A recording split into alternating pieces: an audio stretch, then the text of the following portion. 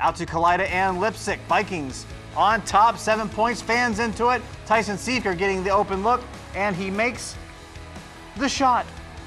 Makes it a four-point game with his three. Seeker now tries a shot, and Justin Siebenek getting the board and the putback. Now, Siebenek, now Seeker getting some open space, hits the jumper there.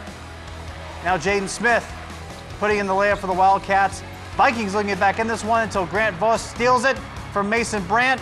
Justin Siebenek makes it a 37-30 lead here in overtime. Kalida picking up the win, 41 to 31.